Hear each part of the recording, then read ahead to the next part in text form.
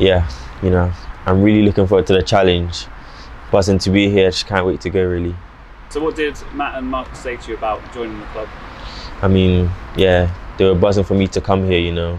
A player like myself will fit in how he wants to play, you know, an attacking player that likes to create things.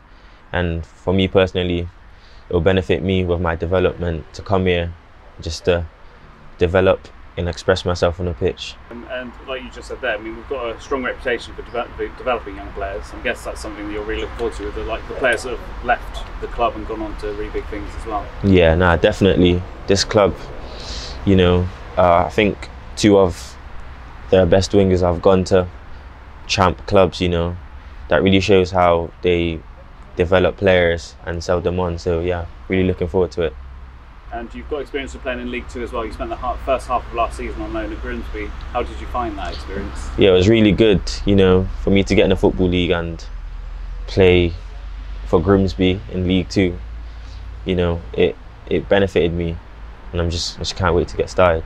And I believe you scored your first goal as well whilst you were on loan with them as well. Yeah. like? First professional goal was it was really good. Felt good when I scored that goal. You know, the feeling is undescribable. It's, it's, it's really good. Uh, you made also made a couple of appearances for Bristol City in the Championship. I mean, that must be something you're very proud of. Yeah, nah, definitely. When I got recalled back and made my debut, it was it's like a dream come true, you know. And it was a good experience as well to play in a champ, you know. Um, yeah, I really learned a lot from it. And do you feel that coming on loan will help you get, you know, show off what you can do and get yourself in the eye of the manager as well? Yeah, nah, definitely. There's a challenge that I've now set myself to come here and do well, and yeah, can't wait.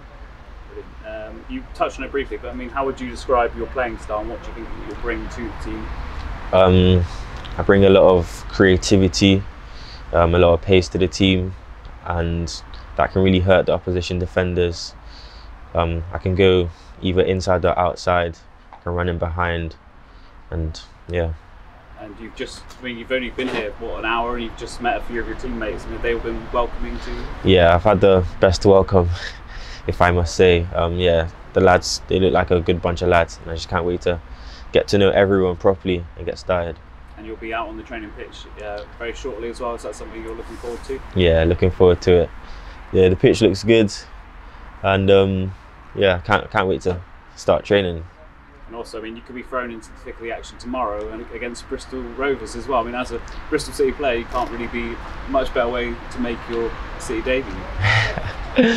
Yeah, I mean, first game against Bristol Rovers, you know, just gonna have to do my best. You know, I'm an Exeter City player now, so yeah, Finally, I mean, what are your aims personally for this coming season?